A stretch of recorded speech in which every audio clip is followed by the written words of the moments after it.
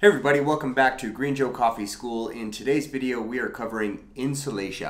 Insulation.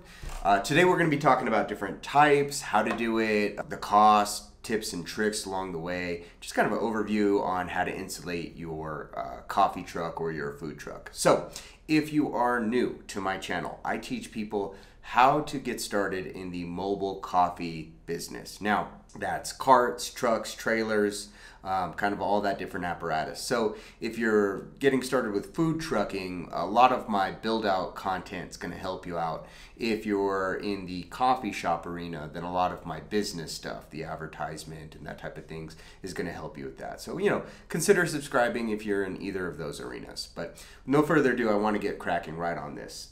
So, why insulate your truck? It's an extra cost that doesn't necessarily need to happen for you to get inspected, a health inspection. It's not mandatory by code and regulation. Um, you can easily start a mobile business without insulating your unit. That's you know perfectly fine, legal, blah blah blah.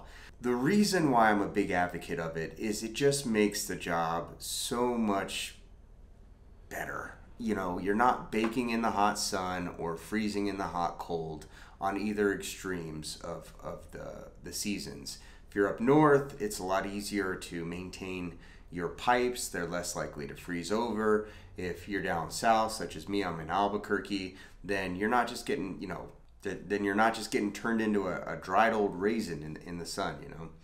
Is it needed? No. To me, is it worth the time and the money? Yes. So let's break down what you need to do to get your, your truck insulated or your trailer insulated. All right. So who can do this? Now, I really think this is a do-it-yourself job. Why do I believe that? A couple of different reasons.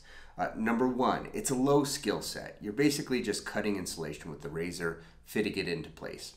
Not much skill involved there. Number two, if you mess it up, it's not going to go on fire. Nothing's going to explode. So, you know, the risk is pretty low. And, and number three, it's cheap. They're 15, 16 bucks a panel. So even if you mess it up, you, you know, you're out 15, 16 bucks. You're probably not even out that much because you can take that same insulation and use it elsewhere on the truck. So. Okay, so what kind of insulation do I use? There's different types of insulations. There's the spray-in insulation, there's fiberglass, there's foam insulation. I like foam. The fiberglass insulation, one, you're gonna be itching everywhere and it tends to settle in mobile units. The spray insulation is, it's a little, you know, theoretically it's a little easier to do, although you gotta rent all that different equipment but it's more costly, just costs more money. So I use the foam insulation because it's cheap, it's painless, it's easy, you can get it anywhere. You can literally go down to your local Home Depot and they have it there.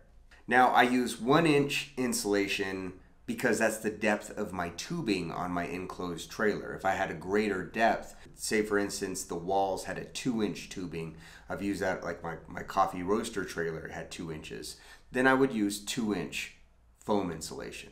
Also, something to consider if you have the availability and you're dealing with the sun similar to I am, where you hit 100, 100 degree days, you may want to consider doubling up on your insulation on your roof if you're able to.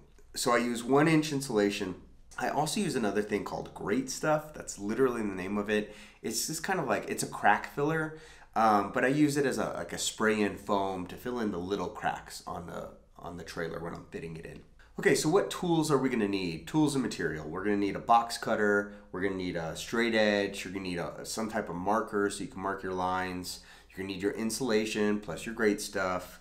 Um, also, you're gonna need to remove your inner walls. So take a look at how your walls are tacked on. For me, I have an enclosed trailer that uses um, Phillip head screws. So I can just use a number two Phillip head to, to remove those. Some of you might have like the little octagon eight stars. So you may want to look at that ahead of time. Go ahead and buy yourself a bit before you get started with that. For the vintage campers, they've had like brad nails or staples. So you might need like a set of pliers or a screwdriver to take those out. Okay, so where should we put insulation? For, for this, I'm going to refer to the second law of thermodynamics, the beautiful and intricate and elegant law of entropy. And entropy basically states that heat will travel from its hottest point to the lowest point. Why that's important is we really want to look at how heat is being conducted in our unit. So what's the best conductor of heat? Well, you know, for that you look at heating elements. What are they made out of? Metals. They're typically made out of metals. So your metal is your conductor of heat. And in your unit, you really want to insulate around those metals and make sure that those metals aren't able to conduct that heat into your unit or outside of your unit very well. You don't want to, you know, conduct heat from outside the unit to in during the summertime.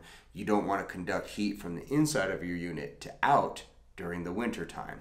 And for where this is really, really important is for those of you that are doing horse trailers because the entire thing is made out of metal. So it is just one large conductor. You really want to take your time and make sure that you're patching up and insulating all around the sides of the metal. If you have a, a, a one inch tubing, you want to insulate on both sides. If you have, sometimes they have like a kind of a U shape to the tubing you want to get metal you want to get you want to get insulation packed inside of that U shape so that you're also insulating that area. So you really just want to insulate everywhere that you can.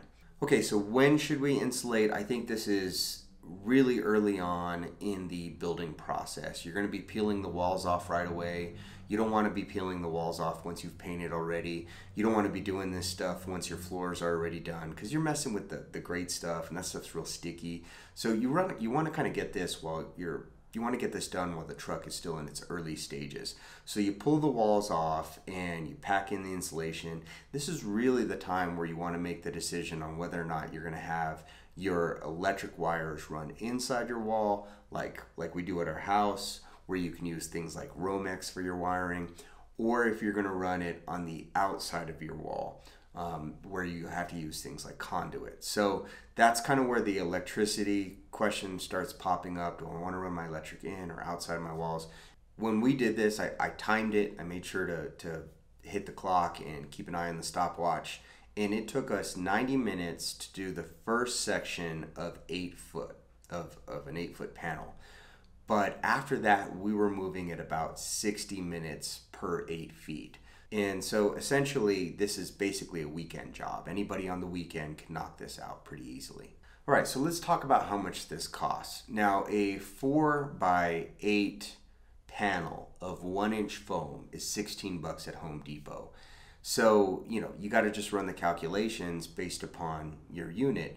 If you're doing, say, for example, an 8 by 16 unit, okay, well then you're going to have essentially, you know, four on one wall, four on another, and then two panels up top. So you're going to have 10 panels total.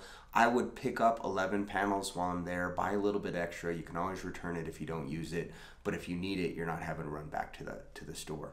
And then the great stuff, they're 3 bucks a can. I have a 24 foot trailer and we use 6 cans. I don't think you're going to need much more than 6 cans, but pick up anywhere from 4 to 6 cans. Okay, so so how do you do the insulation? It's real straightforward stuff. You want to just go in and remove the trim. You want to remove your plywood um, or your, your particle boards or whatever your walls are. You're basically going to measure your foam, try to get it exact as you can because it's easier for the foam to, to hold up. In fact, if you can get it a little bit larger than the space, we're talking 1 16th of an inch, not, not super large, but ever so slightly larger than the space is supposed to fit in, you can actually compress the foam a little bit so that it, it's snug. You place the insulation in and any large cracks you want to fill in with more insulation. But if you have small cracks, that's a good time to use that great stuff and just fill it in with the spray foam.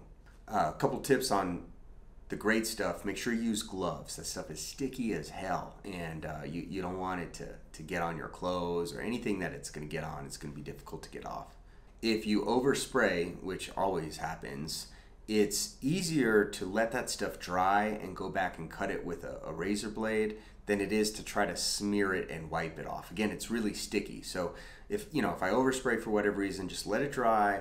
Come back a couple hours later when it hardens up and just chip it away at it with a with a razor blade or screwdriver or something.